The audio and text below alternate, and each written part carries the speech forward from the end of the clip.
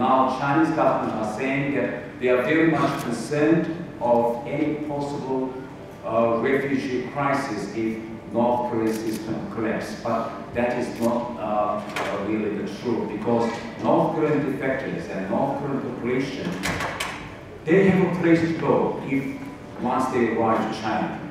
They have South Korea, which would welcome to accommodate all North Korean defectors from China.